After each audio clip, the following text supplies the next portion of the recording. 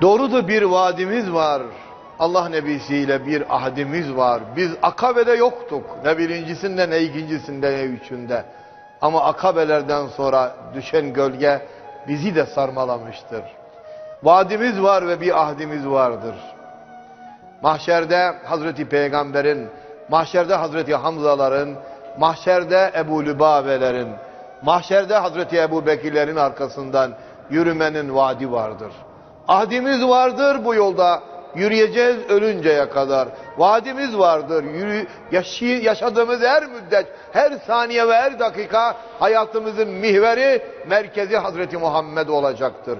Aleyhissalatü vesselam ve inadına inadına Hazreti Peygamber'i öylesine anlatacağız ki bütün yüreklere Hazreti Muhammed'in aşkı girsin ve herkes o insanlık peygamberini iyi tanısın diye. Bir defa değil yüz binlerce kez bu şekilde. Bazen suskunluk en güzel cevaptır. Bazen duruş en güzel cevaptır. En güzel duruştur. Hazreti Salebe'nin yaptığı gibi durmaktı. Hazreti Peygamber sefere giden bir sahabiye Salebe'den bir sahabi var. Sen onun ailesinden dikkat et, onları koru diyordu. Ve o sahabiye görev veriyordu diğer sahabeyi kolla diye. Çocuklarını, ailesini, hanımını. Bir gün o sahabenin yanına giderken Salebe yapmaması gereken bir nazarla hanımına baktı. Sahabenin hanımı o gün avluda yıkanıyor. Bugünkü gibi banyolar yok. Böyle baraka gibi bir yerde yıkanırken bakmaması gereken o arkadaşının hanımına Salebe bir an bir nazar bir bakış. Ama daha orada pişman. Öyle müthiş bir üzüntü, müthiş bir şey, bir sancı, bütün yüreğini bir an öyle bir kuşatıyor ki, ben ne yaptım diyor, ihanet ettim arkadaşıma, bakmak suretiyle. Ve sonra dönüyordu. Gidecek, nereye gidecek? Mescide gitse Resulullah orada, Allah'ın Nebisinin yüzüne nasıl bakacak bu günahından sonra? Hazreti Peygamber demeyecek gibi nasıl ihanet ettin sen? Evine gitse bütün duvarlar üstüne çökecek. Zemin onu içine alacak. Gök üstüne çökecek sanki. Sanki bütün dağlar, taşlar, bütün bütün kumpa, kum zerreleri dile gelmiş. Ona Salebe yazık sana, Salebe yazık sana diyor. Sanki bütün kumlar Hazreti Peygamber'e haykırıyorlar. Allah'ın peygamberi Salebe ihanet etti arkadaşına. Kaçıyor Salebe, kaçıyor kendinden. Kendinden kaçıyor. Hazreti Adem Aleyhisselam'ın cennetten çıkarıldığı gün, Hazreti Adem Aleyhisselam cennetten çıkarıldığı gün, kaç, çıkarılmadan önce koştuğu gibi kaçıyor. Elbiseleri düşmüş Adem'in. Üstünü örtmeye çalışıyor. Bir taraftan da cennete koşuyor. Yüce Allah soruyor, Adem benden mi kaçıyorsun? Hayır ya Rabbi, senden utanıyorum. Öyle diyor Hazreti Adem. Salebe de öylesine kaçıyor işte. Kayboluyor. Hazreti Peygamber Salebe'yi arıyor bulamıyor. Sahabesi yok ortada. Allah Nebisi merak ediyor ve sorduruyor sahabeye. Salebe'yi bulun bana getirin. Neyi var bu adamın? Nerede bu adam? Bu genç delikanlı. Sonra bir müddet sonra bilgi geliyor. Cebrail ya Resulallah diyor Salebe falanca merkezde, falanca dağda, falanca mekanda, falanca mağarada yaşıyor. Bir günahından ötürü utanmış ve kaçmış.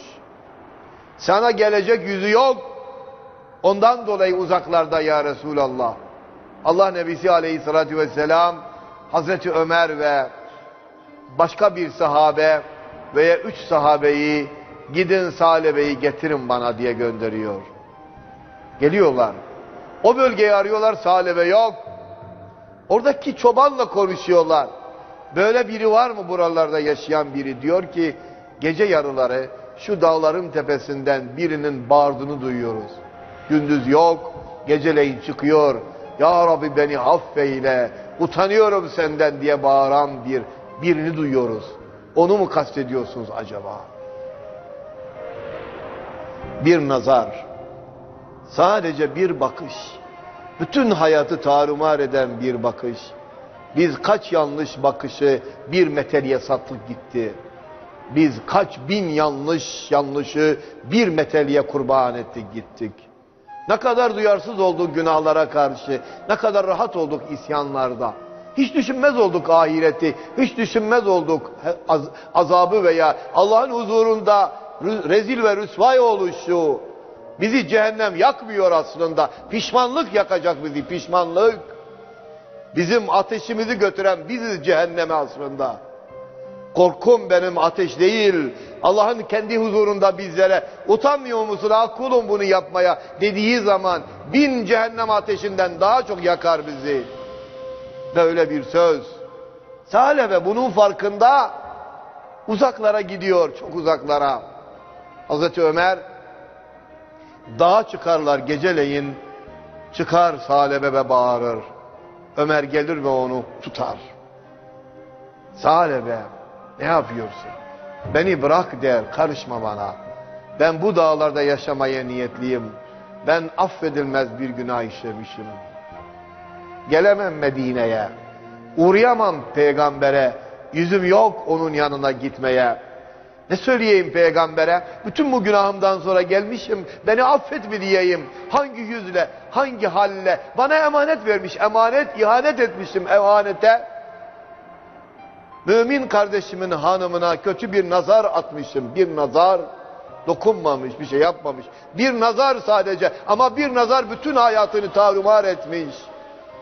Doğrudur çünkü o sahabenin öğretmeni Hazreti Muhammed ya aleyhissalatü vesselam. Öyle eğitmişti onları. Ey Nebi seni sevmiyor birileri. Sana yanlış bakıyorlar. İnsanın kızası değil, üzü, üzül, üzülesi geliyor onlara. Keşke tanısalar seni. Benden daha çok sevecekler seni. Keşke tanısalar. Senin yolundan, kapından, dergahından bir saniye ayrılmayacaklar. Sana yüreklerini verecekler. Bizim kıyıp veremediğimiz yüreklerimizi senin önüne paspas edecekler. Yanlış yerde çıkış aramayacaklar. Yanlış felsefelerin, izimlerin peşinden gitmeyecekler. Yanlış yollara sapmayacaklar. Senin kapında, senin kapında duracaklar. Bin bir hayatı orada geçirecekler. Ama ne yazık ki seni tanımadan sana düşman oldular. Üzgünüm ey Nebi. Mahcubum senin önünde. Seni tanıtma noktasında yeterince işimizi yapamadığımız için mahcubuz ve üzgünüz. Devam edeceğim.